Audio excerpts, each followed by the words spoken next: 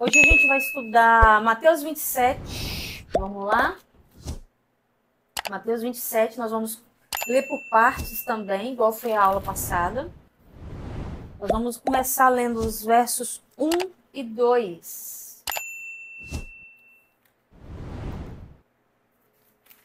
Vamos lá, Mateus 27, versos 1 e 2. E chegando amanhã, todos os principais sacerdotes e os anciãos do povo formavam juntamente conselho contra Jesus para o matarem. E, e amarrando-o, levaram e entregaram ao presidente Pôncio Pilatos. É, Pilatos era o representante de Tibério César. Ele era um dos governadores do, de Roma. Roma, na época, tinha conquistado alguns países e, e a nação de Israel foi uma. Então, nessa época, Pilatos era o representante de Tibério César. Ele foi procurador romano na Judéia, Palestina, de 26 a 35 depois de Cristo. Pouco depois de haver entregado injustamente o Senhor Jesus para ser crucificado, seu governo acabou abruptamente e foi banido e suicidou-se. Ele acabou morrendo, ele se suicidando. Pilatos? Pilatos, logo depois, pouco tempo depois que Jesus foi crucificado. E sua conspiração maligna, a conspiração maligna dos fanáticos religiosos judeus que persuadiram os políticos pagãos, o colocaram colo, pagãos a colocaram contra eles para matar o Senhor Jesus, ou seja, os, os religiosos, religiosos, religiosos da época, judeus, os fariseus, os saduceus, é, os herodianos também, que eram os políticos da época do rei Herodes, tudo se conspiraram contra Jesus e eles acabaram fermentando é, os políticos da época para que ficasse do lado deles para poder matarem Jesus. Versos de 3 a 6. Agora. 3 a 6. Então Judas, o que traíra, vendo que fora condenado, trouxe arrependido 30 moedas de prata aos principais sacerdotes e aos anciãos, dizendo: Pequei, traindo sangue inocente. Eles, porém, disseram: Que nos importa? Isto é contigo. E ele, atirando para o templo as moedas de prata, retirou-se e foi enforcar-se. É, nós vemos na aula passada que Jesus ele foi bem vendido pelo preço de um escravo. E esse valor essas 30 moedas, ele foi tirado do tesouro do templo. Ele foi tirado do tesouro do templo, das ofertas. É, no templo tinha um, um cofre chamado Tesouro do Templo, que guardava-se as ofertas dadas na época e era guardado ali dentro. Então, esses religiosos, o sumo sacerdote tirou do cofre do templo para pagar Judas. Certo? Mas ele, quando Judas levou para eles de volta, eles não quiseram pegar de volta. Porque agora essas 30 moedas elas estavam manchadas de sangue. sangue. Inocente ainda. E sangue inocente. E tanto que eles não quiseram pegar, e eles sabiam que era sangue inocente. Que eles fizeram ao Senhor foi mais maligno do que a ação de Judas.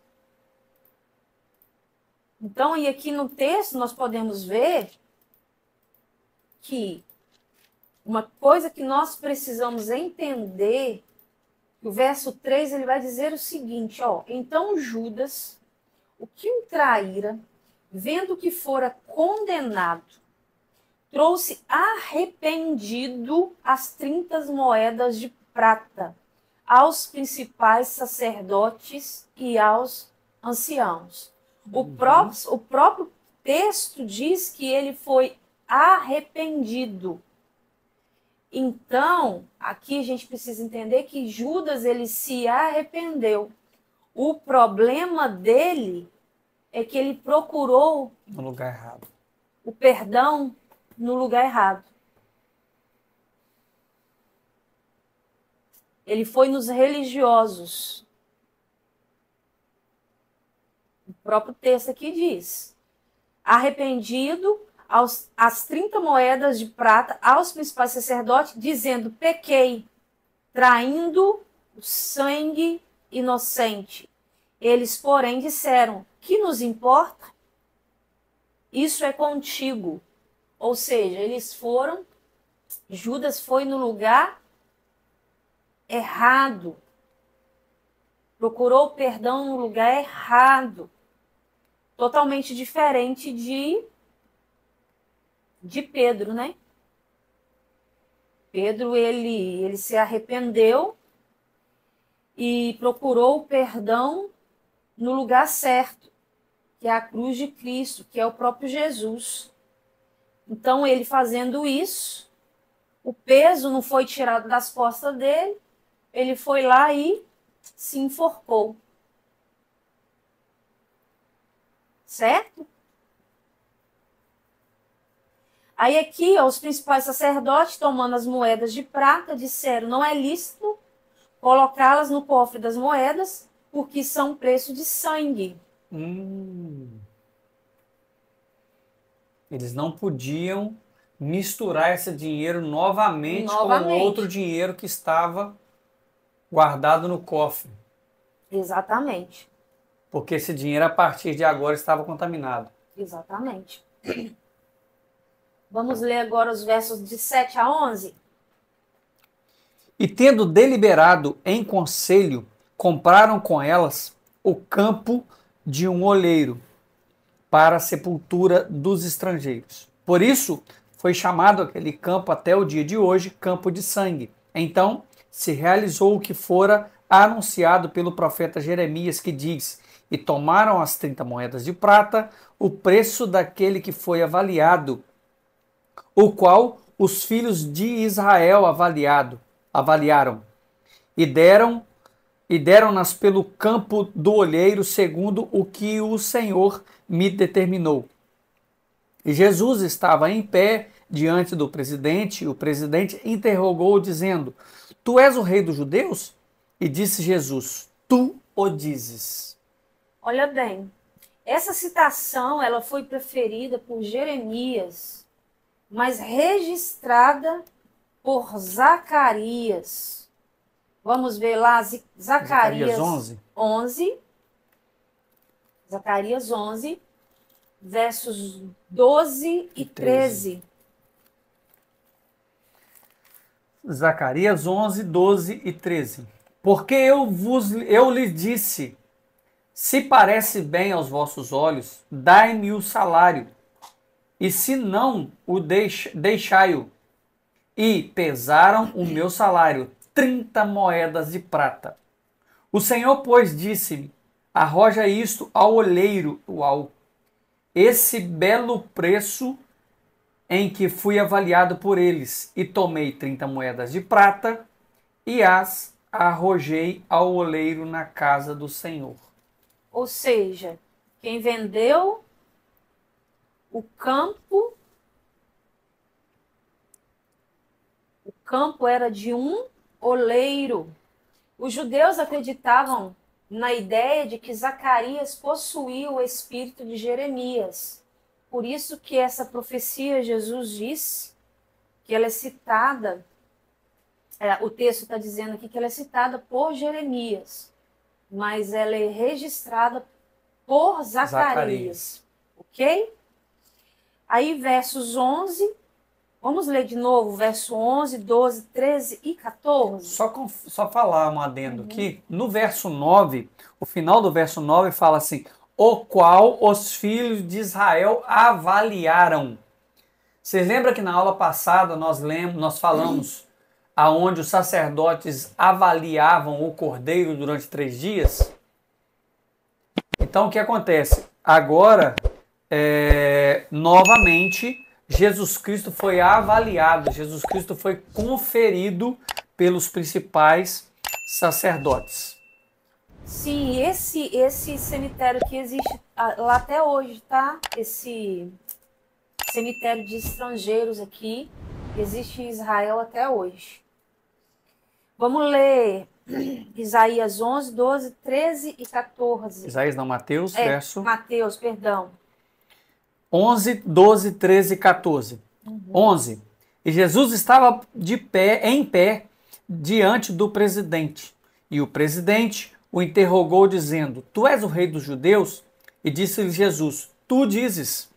E sendo acusado pelos principais sacerdotes e pelos anciãos, nada respondeu. E disse-lhe então Pilatos: Não houve quantos testificam contra ti? E nenhuma palavra respondeu, de sorte que o presidente estava muito maravilhado. Ou seja, Jesus ele não queria, como nós vemos já e sabemos, que Jesus de maneira alguma ele se defendeu, né? Ele quis se vindicar, ele quis se proteger. Então, em todo momento, ele recebendo ali acusações, ele não se defendeu.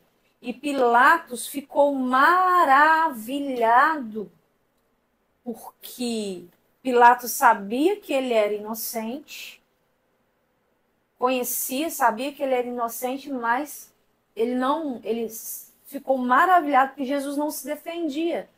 Sendo acusado injustamente, mesmo assim ele não se defendia. Certo? Versos de 15 a 18. 15. Ora, por ocasião da festa, costumava o presidente soltar um preso, escolhendo o povo aquele que quisesse. E tinha então um preso bem conhecido chamado Barrabás. Até 18. Portanto, estando eles reunidos, disse Pilatos: Qual quereis, qual quereis que vos solte? Barrabás ou Jesus, chamado Cristo? Porque sabia que por inveja havia o entregado. Ou seja, isso aqui foi um modo meio injusto que Pilatos usou, porque sabia, Pilatos sabia que Jesus era inocente e Barrabás era culpado. Então, ele sabia disso. Foi injusto da parte de Pilatos fazer essa pergunta. Mas ele, mesmo sendo injusto, ele queria, de algum modo, convencer o povo a não é, condenar Jesus, certo? A não condenar Jesus. Quer falar sobre Barrabás? É, lembrando que primeiro aqui, quando o texto fala, ora, por ocasião da festa, essa festa fala da festa da Páscoa, Uhum. tá? É, em relação a Barrabás, Bar é filho. Barrabás. Bar-aba. Ou seja, filho do pai. A palavra, a palavra Barrabás significa filho do pai. Ou seja, Jesus Cristo foi preso para que o filho do pai fosse solto. E Barrabás aqui é uma tipologia nossa, Isso aí. tá? Barrabás somos nós. Então nós somos os filhos do pai, que fomos soltos, que fomos libertos por causa da morte e ressurreição de Cristo. E vamos ler agora o verso 19. E eu vou deixar para você comentar sobre o verso 19. E estando ele assentado no tribunal, sua mulher mandou dizer: Não entres na questão desse justo, porque num sonho muito sofri por causa destes. Irmãos, esse texto, esse versículo 19 aqui, é um versículo que me deixou muito intrigado, porque eu procurei quem que era essa mulher. Alguns anos atrás, eu acredito que há uns 10 anos atrás, esse versículo ficou na minha cabeça e eu fui pesquisar sobre essa mulher. Essa mulher, na verdade, era a esposa de Pôncio Pilatos. O nome dessa mulher era chamado Cláudia Prócula. A história diz, não a Bíblia, a história diz que essa mulher, ela andou atrás de Jesus durante dois anos e meio, porque ela tinha um filho que o filho dela se chamava Pilo, que esse filho era coxo. Coxo é aquela criança que tem os pés para trás. E ela andou dois anos e meio atrás de Jesus. E um dia ela encontrou com Jesus e Jesus orou e curou o filho dessa mulher.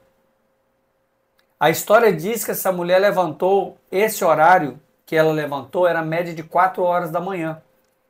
E ela tinha sido atormentada naquela madrugada por sonhos. É, essa história não conta o que, que, o que, que aconteceu no sonho, o que dizia, o que aconteceu, mas esse, esse um dos evangelhos apócrifos conta a história dessa mulher que, que ela teve um encontro com Jesus. E por isso que Pilatos, é, por isso que Pilatos tenta fazer com que o Jesus Cristo fosse solto, com que Jesus Cristo fosse inocentado. Porque Pilatos, na verdade, ele não conhecia Jesus. E tem algum dos textos, eu não lembro o livro, que quando Jesus se apresenta a ele, Jesus, é, Pilatos fala que desejava conhecer Jesus. Na verdade, ele desejava conhecer porque a história diz que Jesus Cristo tinha curado o filho dele.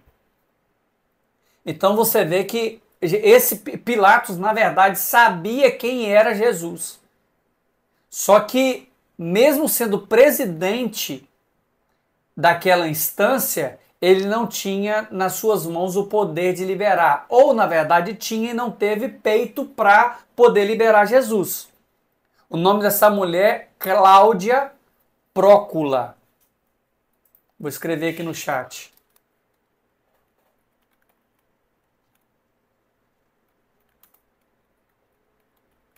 Cláudia Prócula.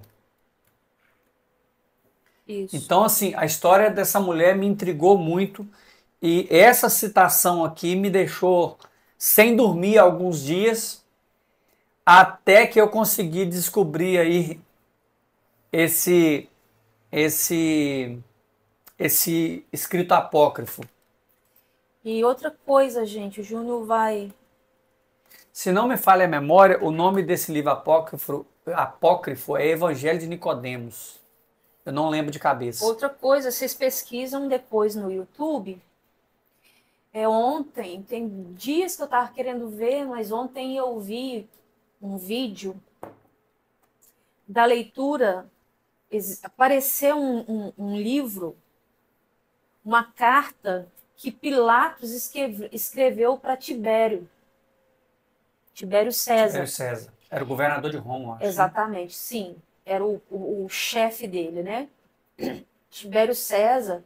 E ele relata os acontecimentos que aconteceu naquilo que a gente está tá, tá, tá lendo aqui, estudando hoje. Ele relata. Então, assim, é uma carta, não sabe se é verdade, mas, mas aqui... eu vou te dizer, tá? A carta é incrível. Eu, se for, ó, se for o relato verdade, que ele se, fala, é, é... o relato que ele fala, se for verdade ou não, eu chorei horrores. É porque o relato é muito forte. É muito... O relato dele a respeito de Jesus, né? E, e condiz com o que fala nas escrituras. Então, tão assim. Na verdade, não tem muita coisa tão não, de absurda, diferente, né? não. Só mas por ser Pilatos relatar aquilo. E confirmando né, aquilo que a gente sabe. E conta. Depois vocês procuram no YouTube. Vocês vão escreve lá carta de, de Pilatos, Pilatos, a Tibério César. Vocês vão ver. Muito doido. Vamos lá então. Vamos ler agora versos 20, de 20 a 24. Mas os principais sacerdotes e os anciãos persuadiram a multidão que pedisse Barrabás e matasse Jesus. Uau! E respondendo o presidente, ou seja, Pilatos, lhes disse: Qual desses dois quereis que vos solte? E disseram: Barrabás. Disse-lhe Pilatos: Que farei então de Jesus chamado Cristo? Disseram-lhe todos: Seja crucificado. O presidente, porém, disse: Mas não fez mal ele. E eles mais clamavam, dizendo: Seja crucificado. Então Pilatos, vendo que nada aproveitava, antes o tumulto crescia, tomando água, lavou as mãos diante da multidão, dizendo: Estou inocente do sangue deste justo. Considerai isto. Então, Pilatos aqui, é, ele, para aliviar a consciência, que ele sabendo que Jesus Cristo era inocente, ele faz esse ato lavando a mão diante do um ato profético, tá, gente? Que ele fez literalmente, lavando as mãos e falando que ele que não ia recair sobre ele esse sangue inocente. Porque era o povo literalmente que estava pedindo. Ou seja, essa culpa eu não carrego. Essa culpa eu não carrego. Então ele faz esse ato também aliviando a sua consciência, porque ele sabia que Jesus era, era justo. Justo, era inocente. Vamos ler agora o verso 25 e 26. E respondendo todo o povo disse: O seu sangue caia sobre nós e sobre nossos filhos. Então soltou Barrabás e, tendo mandado açoitar Jesus, entregou-o para ser crucificado. Olha, meu Deus. Olha que loucura, né, gente? É muita loucura isso. Olha o peso das palavras olha que esse povo falou. Exatamente. Isso desmascarou totalmente as trevas e a injustiça da política da época. Né? Então, e essa injustiça, isso tudo se cumpriu, está lá em Isaías 53, versos 5 e verso 8, Isaías 53, versos 5 e 8 nós vamos ler. 5 e 8 ou 5 a 8? 5 e 8. Isaías 53, 5 e 8. Mas ele foi ferido por causa das nossas transgressões e moído por causa das nossas iniquidades. O castigo que nos traz a paz estava sobre ele, e pelas suas pisaduras fomos sarados. E da opressão e do juízo foi tirado. E quem contará o tempo da sua vida? Porquanto foi cortado da terra dos viventes pela transgressão do seu povo. Ele foi atingido. Então, a pena de morte dos judeus era sempre mais por apedrejamento, viu, gente? Então, nós vemos a pena, a pena de morte dos judeus era por apedrejamento. Vamos ver o, ler os textos? Abre em Levítico 20, só para a gente entender um pouquinho.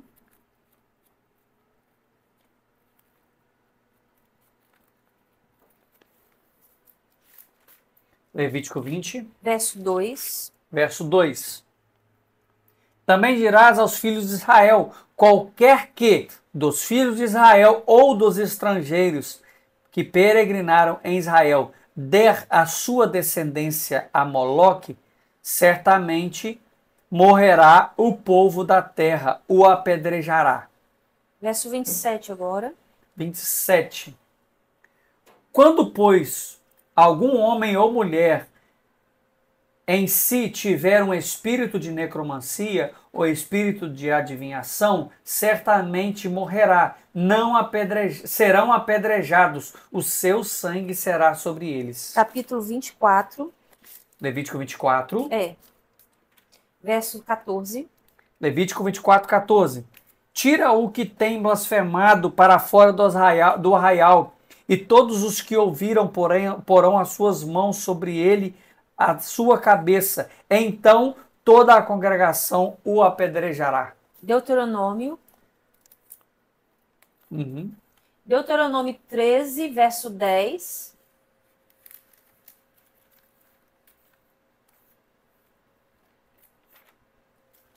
Deuteronômio 13, verso 10. Verso 10. E o apedrejará até que morra, pois te procurou apartar do Senhor teu Deus, que te tirou da terra do Egito, da casa da servidão. É, agora 17, verso 5, capítulo 17, verso 5. 17, 5. Então tirarás o homem ou mulher que fez esse malefício às tuas portas, e apedrejará o tal homem ou mulher até que morra.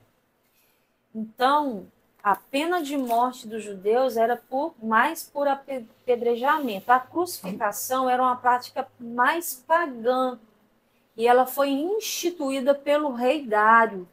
Vamos ver em Esdras 6:11.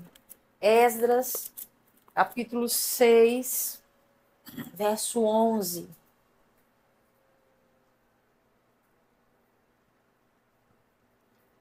Esdras 6, 11. Também por mim se decreta que todo homem que alterar esse decreto, uma viga se arrancará da sua casa, e que seja ele levantado e pendurado nela, e que sua casa faça-se um monturo. Uau! aí né, vai falar do, de madeiro levantado, é o madeiro vai ser levantado, que nós vamos ver aqui também que Jesus fala, quando eu for levantado, é quando a cruz for levantada.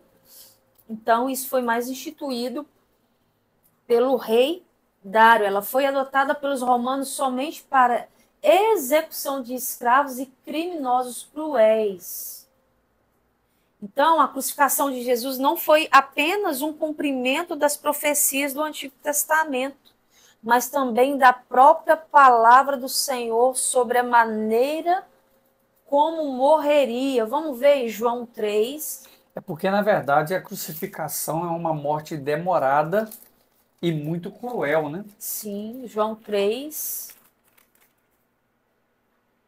João 3. Verso 14. E como Moisés levantou a serpente no deserto, assim importa que o filho do homem seja levantado. Capítulo 8, verso 28. João 8, 28. E disse-lhe, pois Jesus: Quando levantardes o filho do homem, então conhecereis quem eu sou, e que nada faço por mim mesmo, mas essas coisas falo como meu pai me ensinou. Capítulo 12, verso 32. João 12, 32. E quando eu for levantado da terra, todos atirarei, atirarei a mim. Ou seja, atrairei a mim. Desculpa. Atrairei a mim. Literalmente, todos foram para Jerusalém no dia. Todos foram. Israel, Jerusalém ficou cheia de judeus querendo a morte de Jesus. Versos 27 a 29, é, 29 de Mateus 27. 29. E tecendo uma coroa de espinho. Verso 27 a, a 29. 29. Uhum. E logo os soldados do presidente conduziram, conduzindo Jesus à audiência, reuniram junto dele toda a corte e, despindo-o, cobriram com uma capa de escarlate e, tecendo uma coroa de espinho, puseram na sua cabeça e em sua mão direita uma cana e, ajoelhando diante dele, o escarneciam, dizendo: Salve, Rei dos Judeus! Ah, gente, isso é forte, né? Meu Deus. Ó, Os soldados de Pilatos levaram Jesus para a sua residência, porque aqui em algumas Bíblias fala pretório, e isso aqui fazia parte da residência de Pilatos. Era um complexo, né? Era um complexo. E os espinhos, aqui, gente, a coroa de es- de espinhos não é por acaso. A coroa de ze- de espinho que eles fizeram e colocaram sobre Jesus. Os espinhos são símbolos da maldição. Uhum. Os espinhos, eles são símbolos da maldição. Vamos ver Gênesis 3. Hum. Gênesis 3. Versos 17 e 18. E Adão disse: Portanto, deste ouvidos à voz da tua mulher e comeste da árvore de que te ordenei, dizendo: Não comerás dela, maldita é a terra por sua por causa de ti. Com dor comerás dela todos os dias da tua vida. Espinhos e cardos também te produzirá, e comerás a erva do campo. Então, aqui os espinhos, eles são os símbolos da maldição, mostrando assim que o Senhor Jesus se fez maldição por nós. Certo? E o escárnio, a gente precisa observar que nem todo, nem sempre um elogio que a gente recebe ou saudação é verdadeiro. Pode ser um escárnio. Porque aqui, ó, o que, que eles falavam? E tecendo uma coroa de espinhos, puseram-lhe na cabeça e em sua mão direita uma cana e ajoelhando diante dele, o escarneciam, dizendo: Salve, Oh, Rei dos Judeus. Interessante que eles, eles fizeram, eles colocaram e fizeram literalmente como se ele fosse um rei. Olha o que eles fizeram: colocaram uma coroa, Uhum. entregaram uma cana, na no- sua mão direita, né? no cetro, né? Exatamente, como se fosse o cetro, mão direita fala de autoridade. Uhum. E eles ajoelharam da maneira que todo mundo se ajoelhava perante o rei. E fora a capa, né? E fora a capa, que colocaram uma capa vermelha, né? Escarlate, que na Escar- época o rei usava. Na época o rei usava a cor vermelha. Então, assim, eles literalmente es- escarneciam ele, ou seja, zombavam dele, faziam chacota da cara de Jesus. E eles queriam literalmente afrontar Jesus com essas atitudes, falando assim: já que você não é o rei, faz o seguinte: você não tem um certo, não, mas toma uma cana aí, um pedaço de, de- de vara. Porque o caniço aqui é uma vara de cana. Sim. Já que você quer ser rei, toma uma coroa, mas já que eu não tenho uma coroa de ouro, vou colocar uma de espinho. Já que você não consegue ter a capa de rei, vou colocar um pano vermelho qualquer. Exatamente. Então, assim, é- é, eles escarneciam assim absurdamente. Esse tempo foi um tempo aonde o nome de Jesus foi escarnecido de forma surreal. Aí, verso 30 e 31.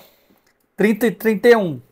E cuspindo nele, tiraram-lhe a cana e batiam com ela na cabeça, meu Deus. E depois de o haverem escarnecido, tiraram a capa e vestiram-lhe vestiram-lhe suas vestes e o levaram para ser crucificado. E eles batiam na cabeça, né? E os espinhos entraram, né? Na, na cabeça, Uhum. furando, furando ele, machucando a sua cabeça. Então, o Senhor, como cordeiro pascal, para ser crucificado por nossos pecados, foi levado como cordeiro Ao matador. ao matadouro. Verso 32. E quando saíram, saíam, encontraram um homem sirineu chamado Simão, a quem constrangeram a levar a sua cruz. Cirene, gente, Cirene é uma cidade colonial grega, capital Cirenaica, na época, no norte da África. Ou seja, esse Sirineu aqui, acredita-se que Simão era um judeu sirineu. Então, por isso que é chamado de Sirineu. Simão Sirineu, porque ele era judeu, mas nascido em Cirene. Ou seja, ele era africano. Uhum. Ok? Cirene hoje é, fica numa cidade chamada Shahat, que é na Líbia. Isso mesmo. Então, quem ajudou ali Jesus a carregar a cruz foi um africano, norte da África. Verso 33. E chegado ao lugar chamado Gólgota, que se diz lugar da caveira. Gólgota já é o signific... é o nome em hebraico, tá? Que significa caveira.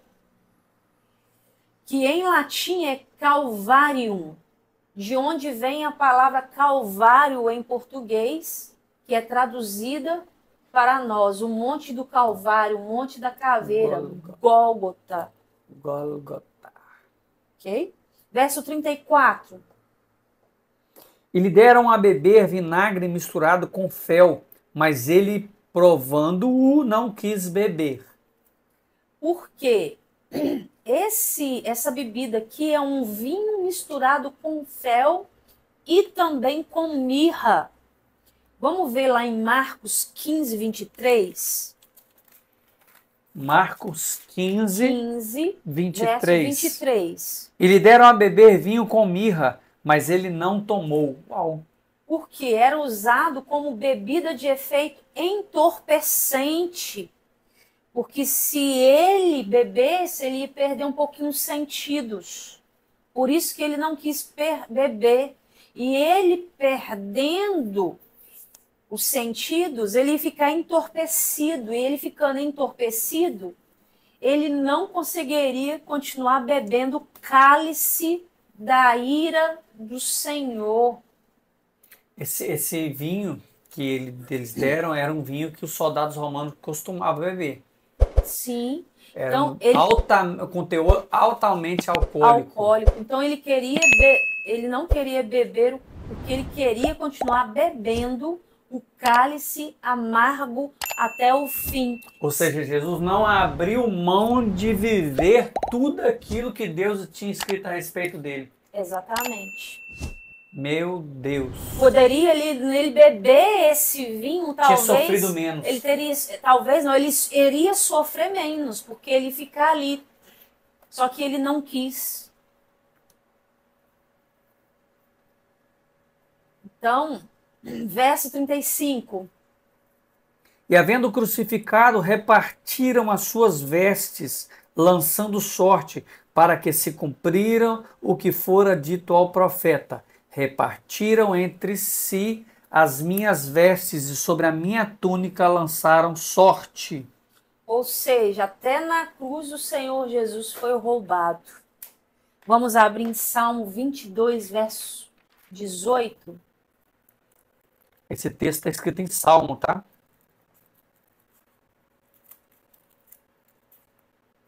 Salmo 22, verso 18.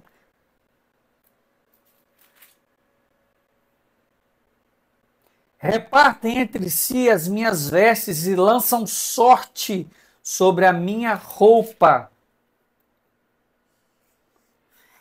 Salmo foi um salmo escrito por Davi, Por Davi, é um salmo salmo messiânico. messiânico.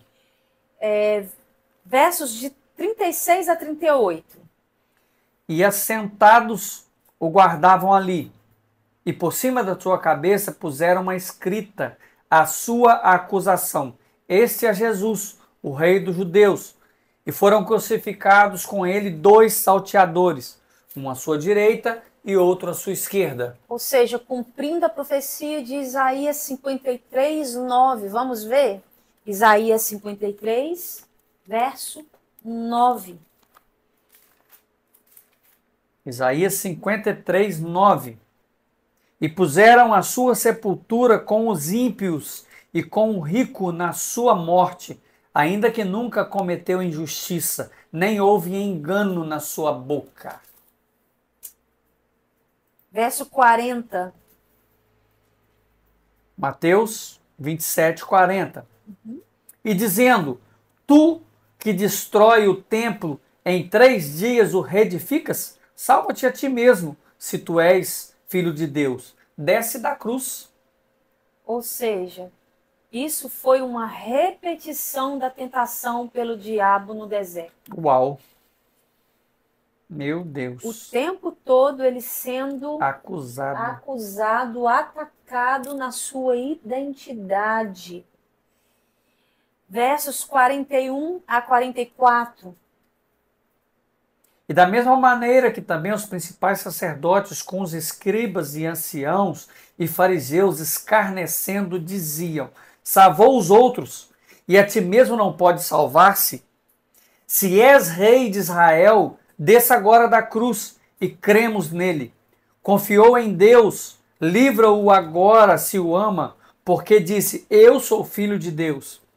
E o mesmo que lhe lançaram também em rosto os salteadores, que com eles, com eles estava crucificado.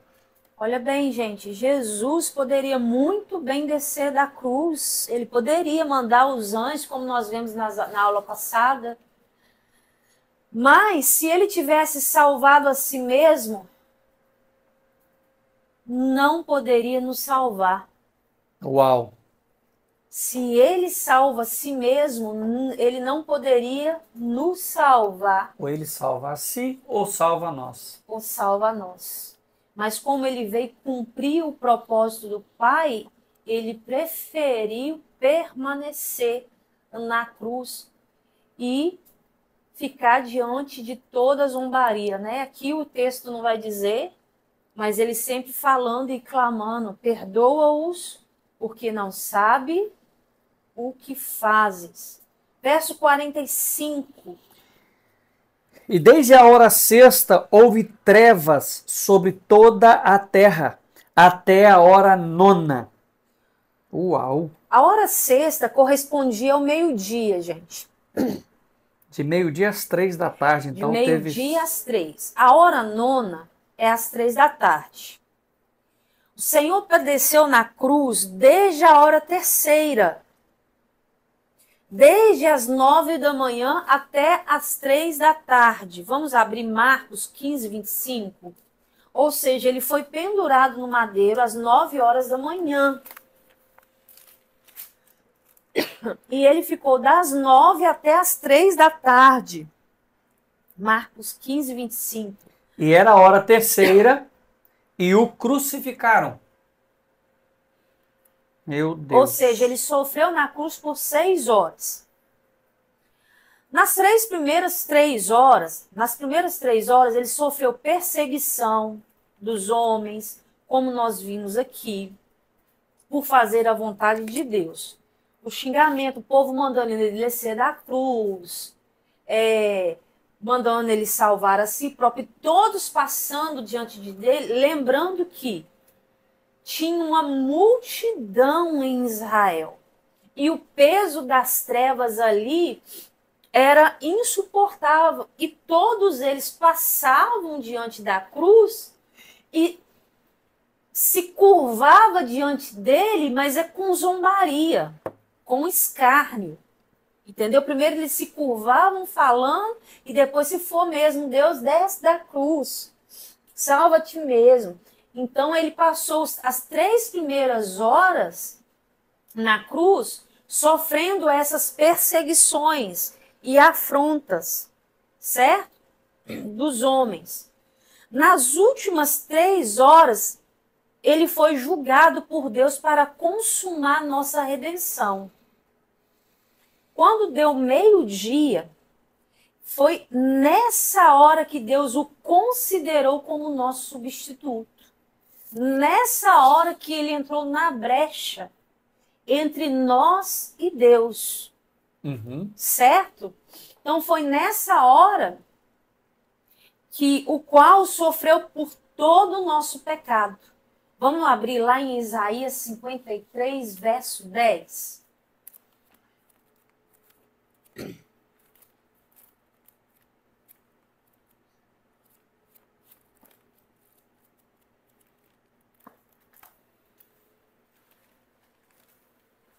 Isaías 53, 10. 53, verso 10.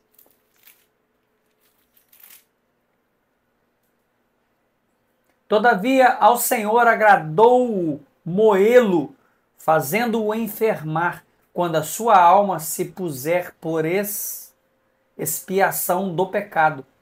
Verá a sua posteridade, prolongará os seus dias, e o bom prazer do Senhor prosperará na sua mão. Então foi nesse momento aqui que Jesus ele foi colocado em expiação entre nós e Deus. Foi nessa hora que ele sofreu por nosso lugar e se colocou como substituto nosso. Por que, que a gente sabe que é esse aqui?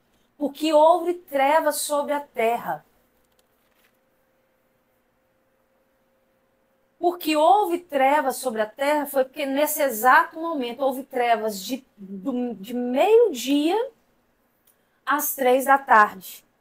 Esse foi o momento do julgamento. Esse foi o momento do julgamento de Deus em Cristo. Em Cristo por, por causa dos nossos pecados. Por causa dos nossos pecados. Porque Cristo, ele é a luz do mundo. Então, quando o pecado da humanidade foi sobre ele, o mundo se tornou trevas. Uhum. Certo? Entendi o mundo se tornou trevas. Abre em Gênesis 1.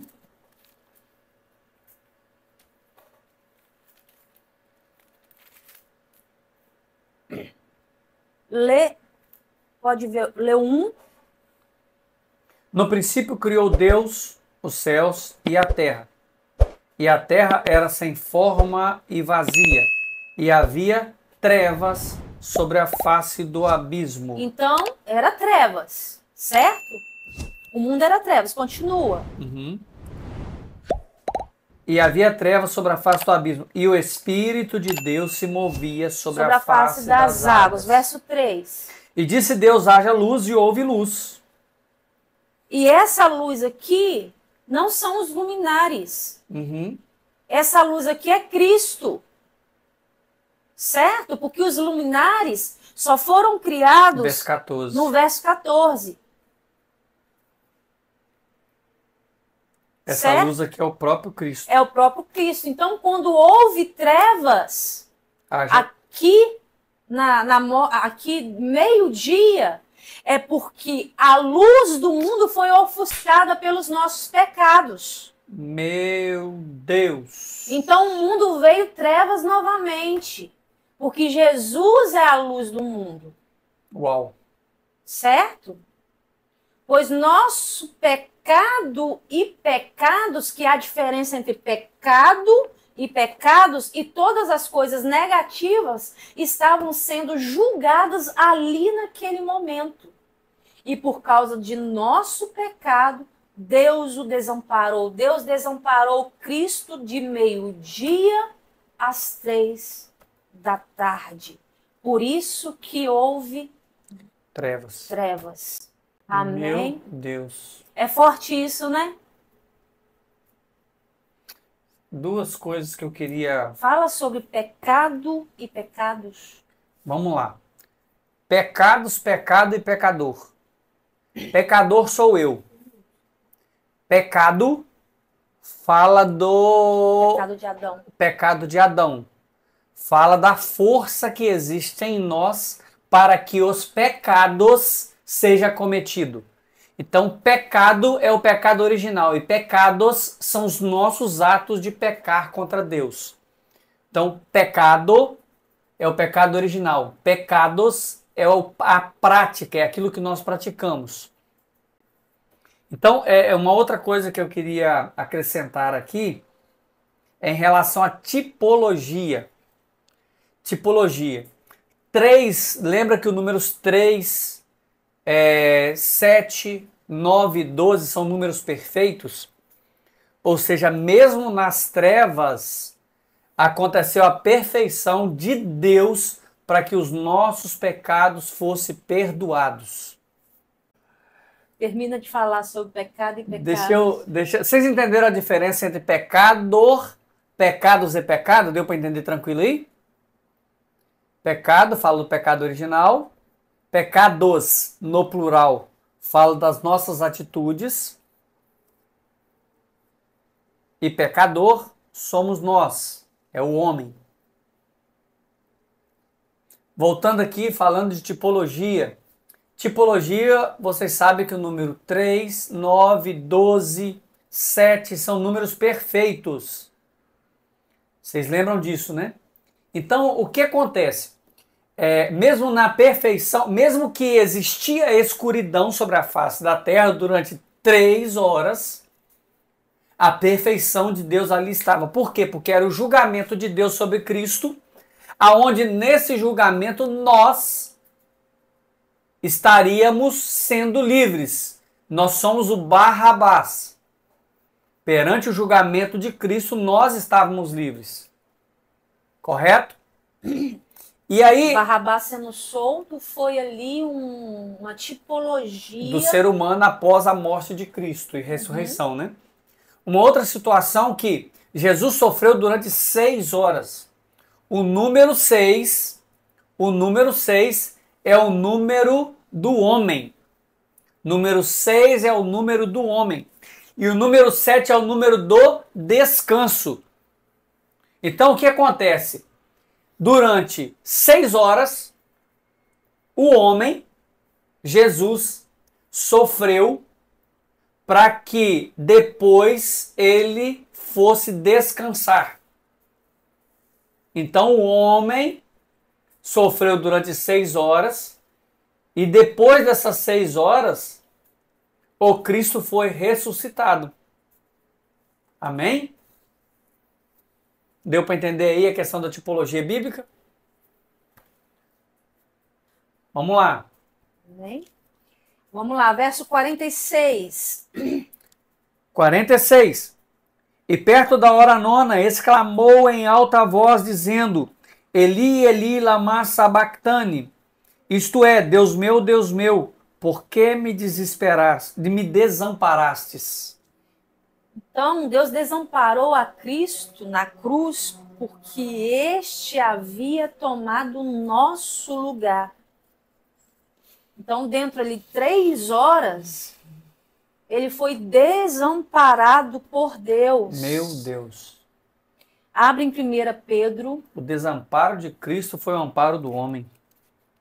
Exatamente. 1 Pedro, capítulo 3, verso 18. 1 Pedro 3, 18.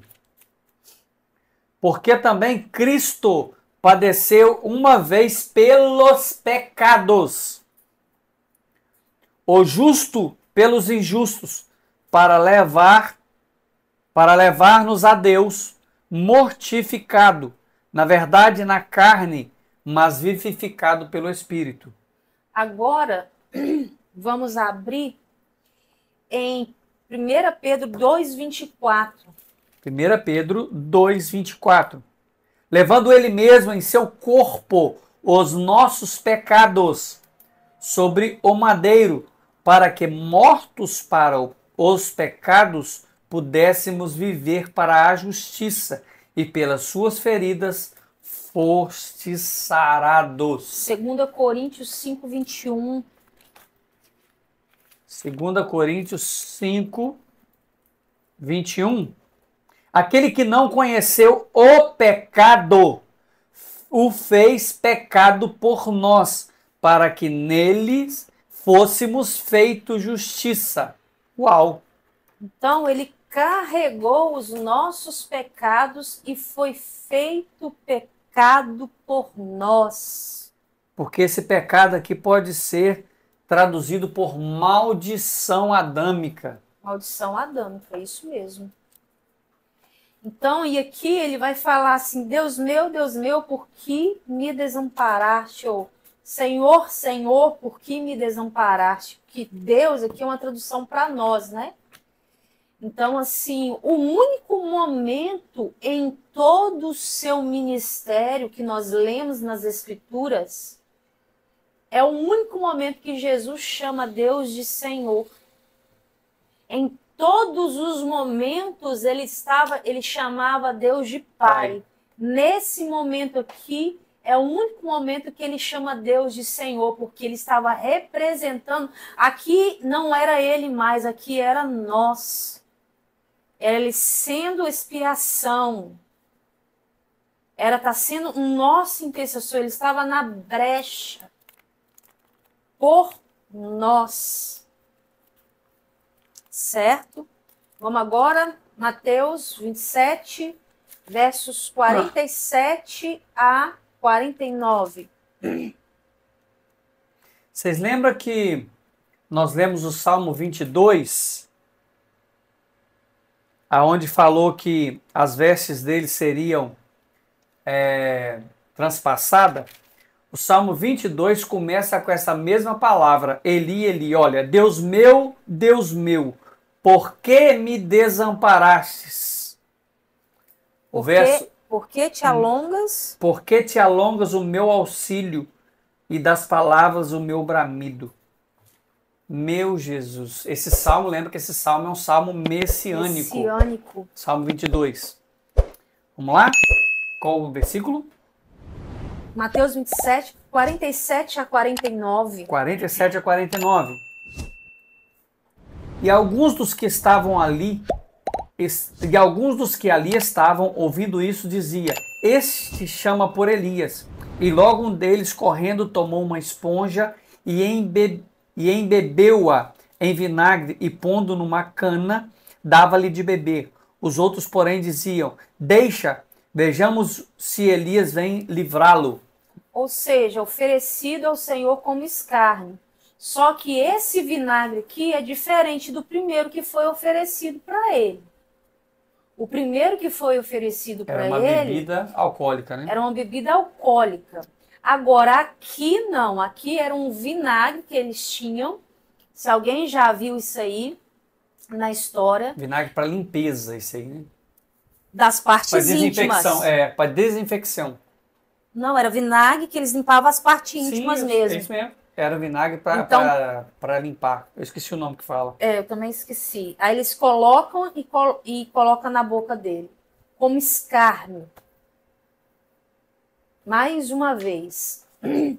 Verso 50. 50. Jesus, e Jesus, clamando outra vez com grande voz, entregou o Espírito. O próprio Senhor entregou o seu Espírito. Vamos ver João, João 19:30. João 19:30. Então ele voluntariamente rendeu sua vida João 19, 30. E quando Jesus tomou o vinagre, disse: Está consumado. E inclinando a cabeça, entregou o seu espírito. Verso 51. 51. E eis que o véu do templo rasgou em dois, de alto a baixo, e tremeu a terra, e fenderam-se as pedras. Aqui o véu, ele fala aqui para nós da separação, era o véu esse véu que era a separação entre nós e Deus. Então ele foi rasgado de alto a baixo. Isso significa que a separação entre Deus e o homem foi abolida. Não existe mais essa separação, uhum. certo? Porque a carne do pecado, e aqui representada pelo véu, assumida por Cristo, foi crucificada. Vamos ver Romanos 8, 3. Romanos 8, verso 3. Romanos 8, 3. Uhum. Porquanto o que era impossível à lei, visto que estava enferma pela carne, Deus, enviando seu filho em semelhança de carne do pecado, pelo pecado condenou o pecado na carne. Meu Deus. Hebreus 10, verso 20. vai dizer assim: pelo novo e, E vivo vivo caminho que ele nos consagrou pelo véu, isto é, seu pela corpo. sua carne. Então o véu aqui era foi representada por Jesus, que era a carne assumida por Cristo, foi crucificada, sendo assim foi rasgada, foi abolida. Certo? E foi exatamente quando eles, quando Cristo morre, entrega o espírito, no texto aqui de Mateus não tem, né? Mas eu não lembro qual é o evangelho que fala que o, o soldado romano pegou uma lança e colocou, furou o lado direito dele para ver se ele estava morto. E nesse momento que a lança entra, o véu é rasgado. Quando a carne dele é rasgada, o véu também é rasgado. O véu é rasgado. De alto a baixo nos mostra que o rasgar do véu foi obra de Deus desde as alturas. Não é obra do homem, é obra de Deus. Uhum. E aqui também, no verso 51, vai falar dos terremotos e fenderam-se as pedras. Terremoto e pedras aqui nos fala que a base da rebelião de Satanás foi abalada. Meu Deus. Literalmente, as fortalezas do reino terreno de Satanás foram rompidas. Verso 52. E abriram-se os sepulcros, e muitos dos corpos de santos que dormiam ressuscitaram. Aqui, o poder. Pode ler o 53 também. E saindo dos sepulcros depois da, ressurrei- depois da ressurreição dele, entraram na cidade santa e apareceram a muitos. O poder da morte do Hades, do Hades foi vencido e subjugado, nos mostrando o poder liberador da morte de Cristo. E com isso, gente, essa é em tipologia, as primícias da colheita não eram uma simples haste de trigo que está lá em Levítico 23, de 10 a 11 mas um molho de trigo, que Uhum. tipifica não apenas a Cristo ressurreto, mas também os santos que ressurgiram dos mortos após a sua ressurreição. Agora, para onde depois que eles foram, não há relatos na Bíblia, na palavra, não tem nenhum texto que fala para onde que eles foram, se eles permaneceram, se eles foram não há relatos. Verso 54. E o centurião e os que com ele guardavam a Jesus, vendo o terremoto, Pode ler 54 a 56. e o centurião e os que com eles guardavam Jesus, vendo o terremoto e as coisas que haviam sucedido, tiveram grande temor e disseram: Verdadeiramente este era o Filho de Deus.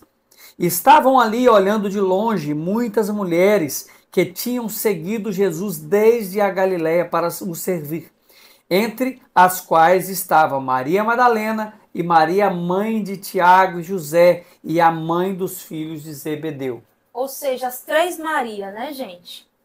Maria Madalena, Maria, mãe de Jesus, e, Maria, mãe de Tiago, e João, né? Então, então está e aqui. José. Tia- Não. Maria, mãe de Jesus, é a mãe de, De Tiago e José, Uhum. certo? Maria Madalena e a outra Maria era mãe de Tiago e João. Ok? Verso Então 5. Jesus tinha um irmão chamado José? Tinha um irmão chamado José e Tiago. Entendi. Ok? É, versos 57 a 59. Vamos lá. Estamos terminando. Vinda já a tarde, chegou um homem rico de Arimateia por nome José, que também era discípulo de Jesus. Este foi ter com Pilatos e pediu o corpo de Jesus. Então Pilatos mandou que o corpo lhe fosse dado. E José, tomando o corpo, envolveu-o no linho, num linho fino e limpo lençol e pôs no seu sepulcro novo que havia aberto em rocha, e dando uma grande pedra para a porta do sepulcro, retirou-se. Vamos ler de novo Isaías 53, 9. José de Arimateia, gente, se a gente for falar sobre ele, meu Deus. Não dá nem para falar, para começar. Não, não dá para falar. 50, 50 aí? E 3, 53. Uhum. Verso 9. E puseram a sua sepultura com os ímpios e com o rico na sua morte, ainda que nunca cometeu injustiça nem houve engano na sua boca. Ou seja, Meu puseram Deus. a sua sepultura com os ímpios, são os dois ladrões na cruz, e o rico aqui está falando de José de Arimateia. Certo? Vamos lá. Agora, versos 61 a 66. E estava ali Maria Madalena e outra Maria assentadas defronte ao, do sepulcro. E no dia seguinte, que é o dia depois da preparação, reuniram-se os principais sacerdotes e os fariseus em casa de Pilatos, dizendo: Senhor, lembramo-nos de que aquele enganador, vivendo, ainda que disse: Depois de três dias ressuscitarei. Manda, pois, que o sepulcro seja guardado com segurança até ao terceiro dia. Não se dê o caso que os seus discípulos vão de noite e o furtem e digam ao povo: ressuscitou dentre os mortos, e assim o último erro será pior do que o primeiro. Disse-lhe Pilatos: Tendes a guarda, ide, guardai-o como entendes. E indo eles, seguraram o sepulcro com o guarda selado, selando a porta. Ou seja, gente, no aspecto negativo aqui do 61 a 66, os líderes judeus que se opunham ao Senhor, eles fizeram isso por precaução, porque Jesus havia falado em todo o seu né, momento, quando ele começou a falar que ele teria que morrer, mas que ele começou a falar que no terceiro dia ele ia ressuscitar. Então, assim, por precaução, eles, eles fizeram isso, foram lá e pediram Pilatos. Mas no aspecto positivo, gente, se não tivesse ninguém lá, não teria testemunha da ressurreição de Cristo. Uhum. Então, no aspecto positivo, tornou-se um testemunho incontestável da ressurreição do Senhor. Então, mais, mais uma vez, nós terminamos mais uma aula. Graças a Deus. Só estamos... falta mais um. Meu Deus, hein? Dois anos depois. Só. Deus abençoe vocês, no nome do Senhor Jesus. Até a próxima aula com Mateus 28. 28. Deus abençoe.